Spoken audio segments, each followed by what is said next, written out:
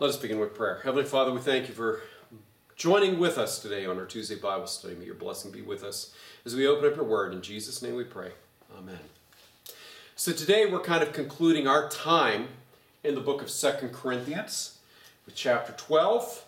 This is not the entirety of obviously the epistle lesson to the Corinthians. We haven't looked at everything. In fact, we've skipped quite a few chapters, three chapters to get up to where we're at here today and we're going to miss a chapter or so at the end, but it hopefully will give you a good overview of what Corinthians, the second book of Corinthians, is all about and why Paul wrote this and the conflict that existed there. But just as a reminder, uh, last we left, a couple of chapters ago, um, Paul was talking about love. Okay? That love is to motivate our generosity because of everything that God has done.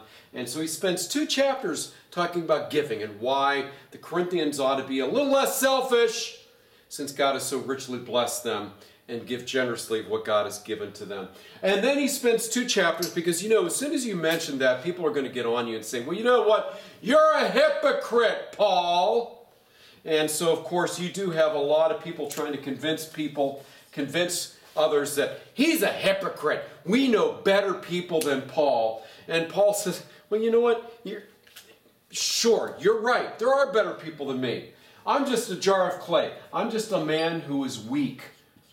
But I don't try to present myself as anything more than what I am. I am what I am, to quote uh, the almighty Popeye, or whatever, Popeye, the sailor man. I am what I am. Paul says, I'm, I'm a weak person. I'm a jar of clay. You're correct. But I'm not a hypocrite. I present myself exactly the way I present myself. He spends two chapters trying to convince them, you know what? I've given myself for the gospel. I've poured myself out for you.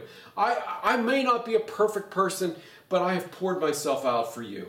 And then he goes on in, in today's lesson, chapter 12. This one is really intriguing because it's kind of a transition from this Paul has been trying to convince them, I'm not a hypocrite. I've, I've cared for you. I may be a weak person. I may be a jar of clay. But they have somebody in mind. The Corinthians have one person in mind. Okay, this is the person that Paul has been compared to. Uh, for the sake of argument, we'll call the person Jake. I don't know. Just because. Name is never mentioned. But Jake, this guy is apparently seen as the great man of Corinth. Everybody loves Jake, and everybody say, Don't follow that, Paul. Jake has apparently been leading them astray. He's been manipulating them. And we're going to see a little bit more clearly today about how this person, Jake, has been manipulating. Again, remember when I say Jake, we don't know this guy's name. Okay? But everybody who's reading the book of Corinthians, Second Corinthians, who was in Corinth at the time, knew who this guy was. And Paul was compared to him, and Paul kind of didn't compare well, at least in their opinion. So we go to verse chapter 12. And, and, and remember, Paul's whole, whole argument is about love. How can you argue this with us? After everything that Jesus has done for you, just be generous and love one another and care for one another. And you've been a privileged uh, participant in the working of the kingdom of heaven. And, and so stop making it about me because we're all jars of clay. And you know what? So is this Jake person. But this Jake person doesn't accept that. He thinks he's something special. We're going to see what Jake thinks of himself here. I know a person in Christ, Paul says. This is verse 2. Verse 1, I'm not skip I'm it's basically transition from these two chapters about Paul into this guy Jake. Okay? I know a person in Christ who 14 years ago was caught up in the third heaven. What is Paul talking about? You know what? Who cares? I'm serious. Who cares? Don't make a theology about there being, well, you know, there's a first heaven and a second heaven and a third heaven. No, this is what Jake claims happened to him. He's claiming special revelation from God. Okay? So Paul is making a mockery of this. This is not a part of our theology. There's no third heaven. There's just heaven. We're just with God when we're not. There's no special place. But this guy, Jake, think this, thinks that there's a third heaven. Why? Because he has something he wants to sell you, basically. All right? So Jake thinks there's a third heaven. So I know a man who is caught up in the third heaven. So everybody, as soon as Paul mentions this, is, oh yeah, Paul's talking about Jake. We love Jake. Whether in the body or out of the body, I don't know. God knows. And I and I know such a person. We're in the body or out of the body, I don't know. God knows. He says it twice. he was caught up into paradise and heard things that are not to be told, that no mortal is per- permitted to repeat. You do get that he's being sarcastic here. Okay? He's saying, he claims, Jake, that he got a special revelation from God that no one else is allowed shh, to see or hear. And because of this, he's manipulating you to think that he's got something special. So you have to come to him. And, and probably, oh, you know, probably being frank, there's probably, if you come to him asking for special revelation from God, it's probably going to cost you something. Okay? it's going to cost you some moolah, some money, because Jake is manipulating you. Now, he's Paul's not directly saying this, but he, he is being very sarcastic about this. So this guy was caught up into paradise, heard things that are not to be told, no mortal is permitted to repeat. On behalf of such a person, I, I will boast, but on behalf I will not be a boast except of my weakness.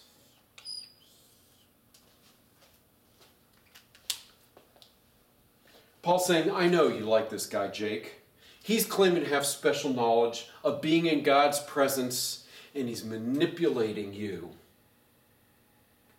I'm not going to boast about the things that have been revealed to me because I know I'm a weak person.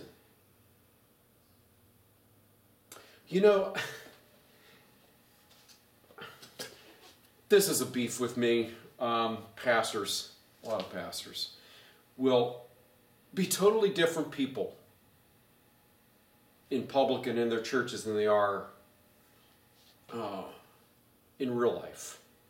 I don't know about this. Jake, don't know what he was, but he was trying to manipulate you. So pastors will, at home, they act like this. I try to be the same person whether I'm here.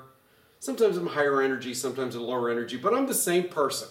I don't try to hide my weaknesses from you. But there's some pastors who do. And they come out there in their pulpit and they start preaching and, and these voices like this, and you know that they never speak like, or better yet, Billy Graham.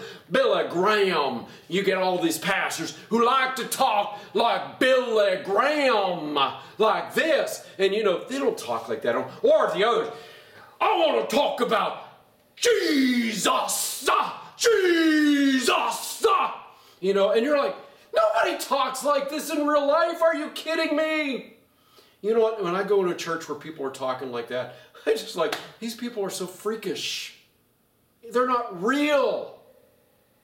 I get excited about what I talk about, but on myself. When I'm getting excited, like right now, this is when I talk when I get excited about other things. You know, these folks don't talk like this ever in their lifetime. They don't talk like Jesus. Ah! Nobody talks like that. They're putting on a show. And they're pulling you in and manipulating you. This is what Jake is doing by claiming that he has special knowledge that he wants to share. And he's so much better than everybody else, especially than Paul. Paul's saying, I've never hidden who I am. I'm a weak person. This guy probably is too. He just struts around and acts like he's something different than what he probably really is like at home. At home, he's probably counting all the money that you fools have been giving to him. Stop giving it to him. Okay? Oh, there you go. Paul says, I'm going to refrain from boasting. This is verse 6. So no one may think better of me than what is seen in me or heard from me. Because this is who I am. I'm a jar of clay. I'm not going to boast in the fact that I walked with Jesus on the, you know, when he was when he was confronted by Jesus. Remember? There's a story in the book of Acts about that. I'm not going to boast about that. That doesn't make me special. In fact, shame on me, Paul would say, that Jesus had to confront me in that way. It doesn't make me special. I don't have special knowledge from God. I'm just going to be who I am. So I refrain from boasting. Even considering the actual, exceptional character of the revelations, verse 7, that, that has been revealed to him. So he's had exceptional revelations revealed to him, but he's not going to try to use it to manipulate people like Jake does. Therefore, to keep me from being too elated, a thorn was given to me. A thorn in the flesh.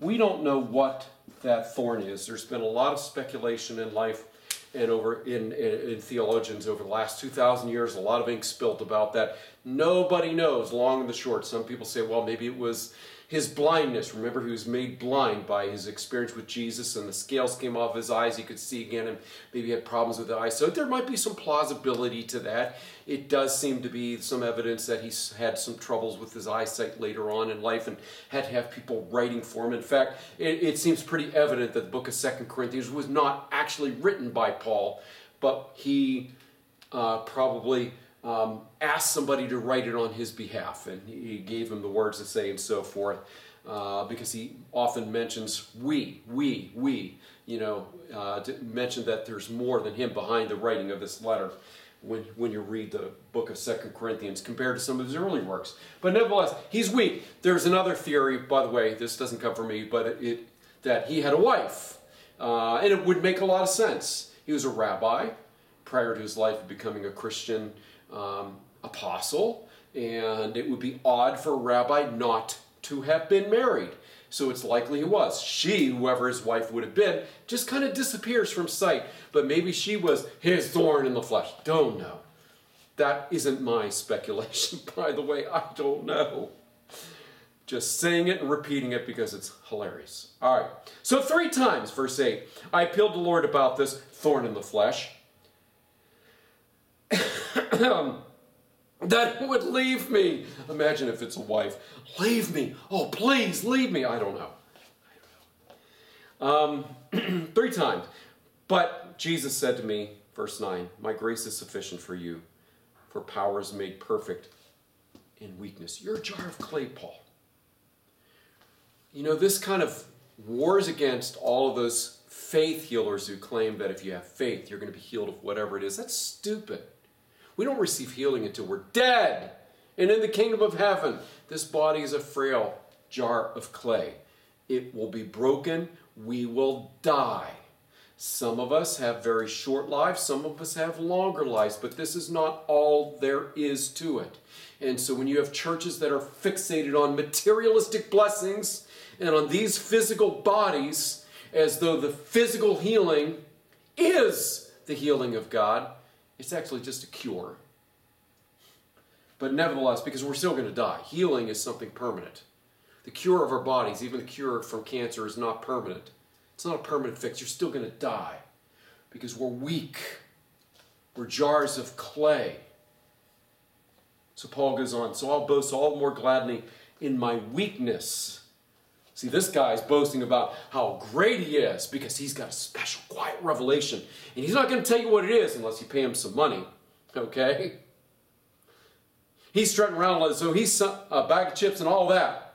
As our former worship leader used to say, JD. Oh no. Paul says, I just am who I am. I'm weak, I'm frail, I'm a jar of clay. You want to throw that in my face as though that's a shame? Well, you know, you need to read the scripture a little bit better because the whole entire Old Testament is about people who are jars of clay.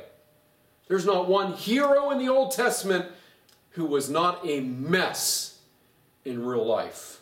That's the thing I love about our Bible. It's all about people who are an absolute mess because they're weak They're a jar of clay, and yet God uses. This is what Paul's trying to tell us.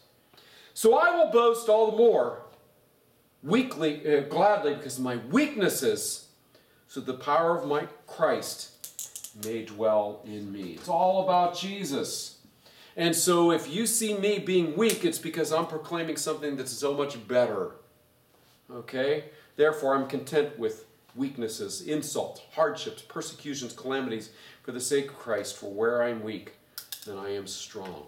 My strength comes from Jesus, not from my own body or my own character, because my character, I fail. I am a weak jar of clay.